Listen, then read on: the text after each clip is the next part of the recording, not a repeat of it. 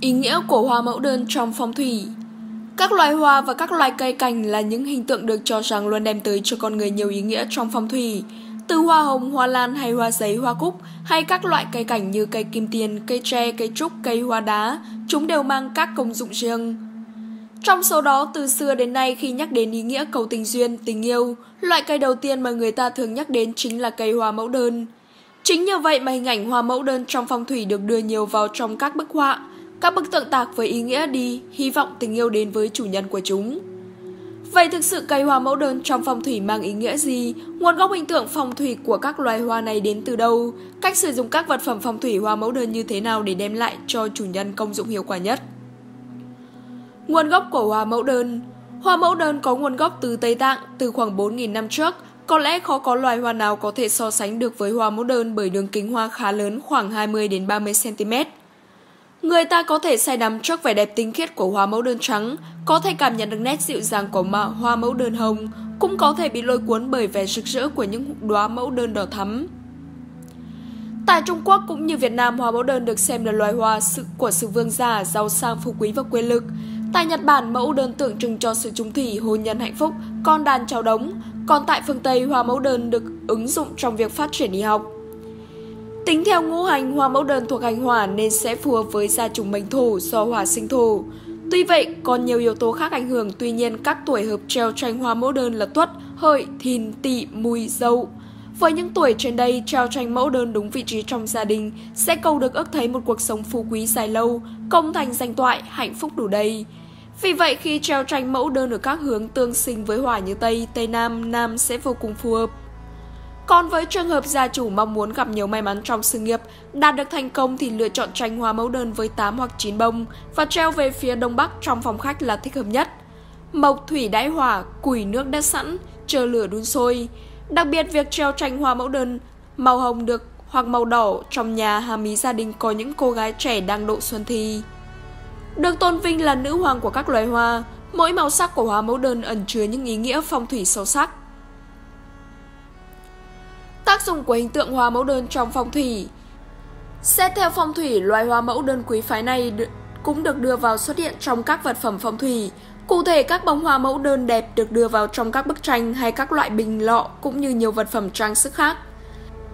Các loại vật phẩm mang hình tượng loài hoa này được cho là sẽ đem lại sự thịnh vượng phú quý cho chủ nhân, đồng thời chúng cũng giúp cho đường tình duyên của họ trở nên thuận buồm xuôi gió.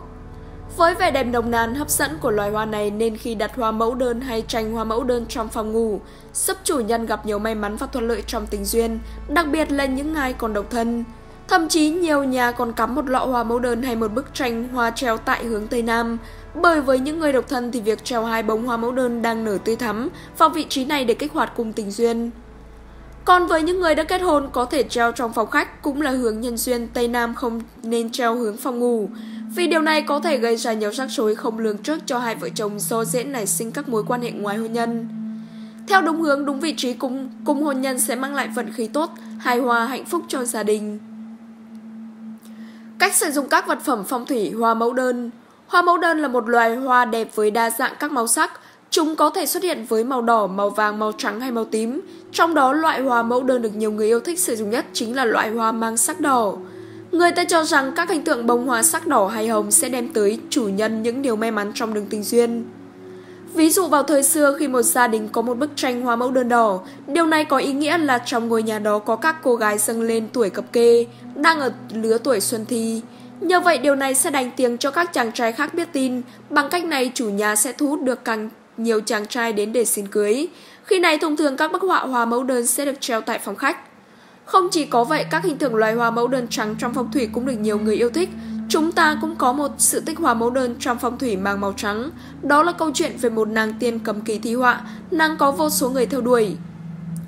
Chính vì vậy, loài hoa mẫu đơn trắng trong phong thủy cũng được biết đến với ý nghĩa thu hút đáng lang quân như ý cho các nàng. Như vậy đường tình duyên của các nàng sẽ nở rộ.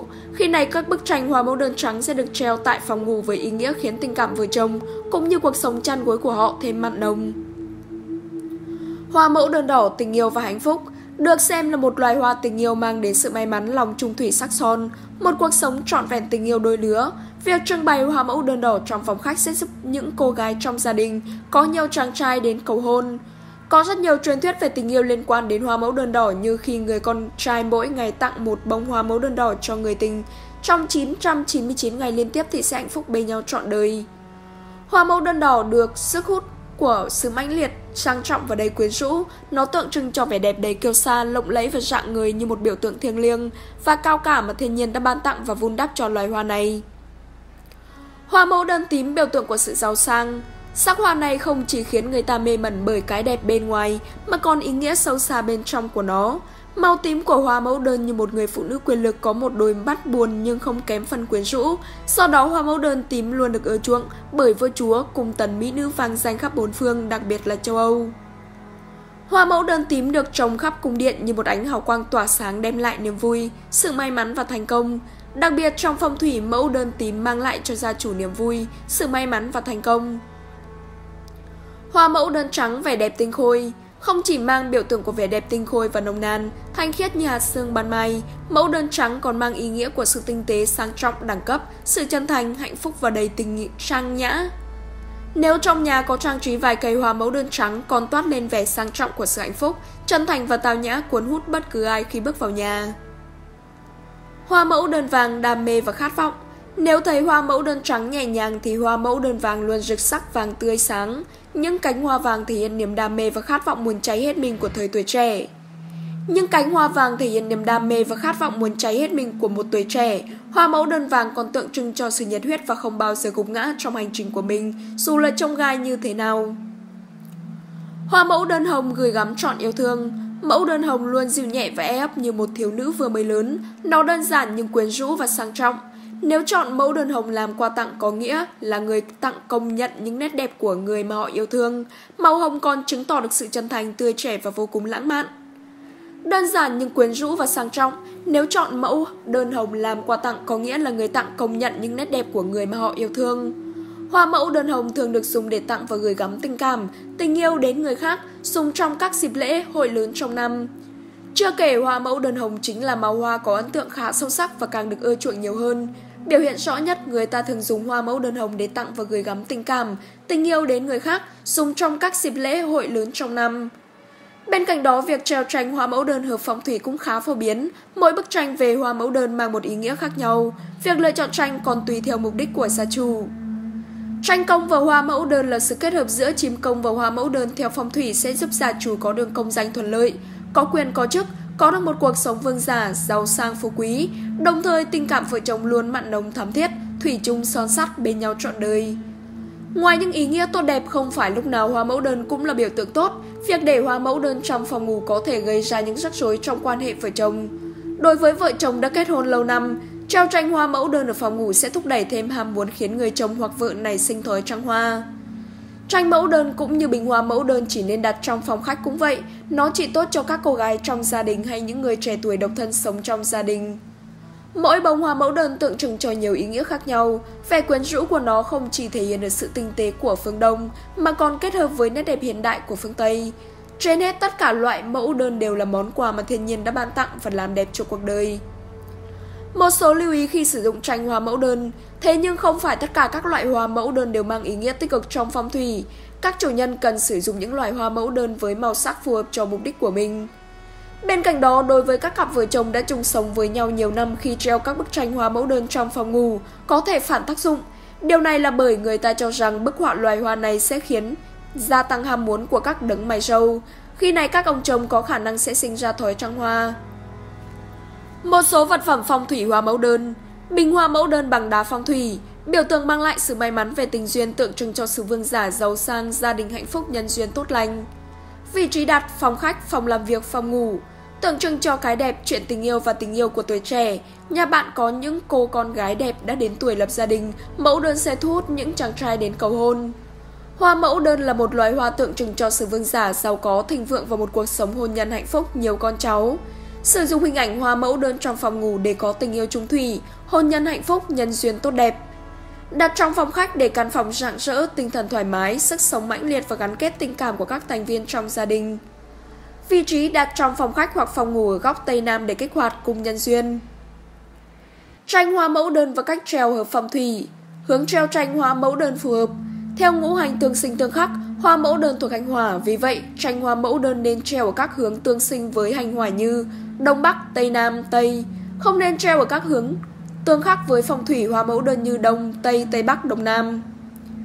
Vị trí treo tranh hoa mẫu đơn trong nhà ở phong thủy, nếu bạn còn độc thân thì tranh hoa mẫu đơn nên treo ở phòng ngủ. Hợp lý nhất bạn nên chọn tranh hai bông hoa mẫu đơn đang đua nhau khoe sắc và treo ở cung tình duyên. Đây sẽ là một dạng pháp khí cực mạnh kích hoạt cung tình duyên của bạn giúp gia tăng cơ hội gặp người khác phái lên gấp bội, đồng thời sẽ thúc đẩy những mối nhân duyên tốt phát triển. Đối với những bạn đã lập gia thất, tranh hoa mẫu đơn nên treo ở phòng khách theo hướng nhân duyên.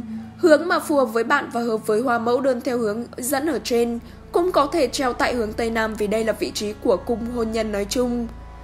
Treo tranh hoa mẫu đơn đúng hướng sẽ mang đến vận khí tốt lành cho gia chủ và các thành viên trong nhà. Cuộc sống gia đình sẽ tràn ngập niềm vui và hạnh phúc. Tuy nhiên, bạn cần hết sức lưu ý người nào đã kết hôn tuyệt đối không dùng tranh hóa mẫu đơn trang trí phòng ngủ. Điều này có thể là nguyên nhân gây ra nhiều rắc rối không lường trước được giữa hai vợ chồng. Hơn nữa, hành động này cũng sẽ thúc đẩy dục vọng ở người đàn ông, khiến cho người chồng dễ nảy sinh mối quan hệ ngoài luồng. Hãy cho chúng tôi biết ý kiến của các bạn bằng cách để lại comment phía dưới. Đừng quên nhấn nút like và đăng ký kênh của chúng tôi để có thể cập nhật những thông tin bổ ích về phong thủy và tâm linh. Xin chào và hẹn gặp lại các bạn trong những video tiếp theo.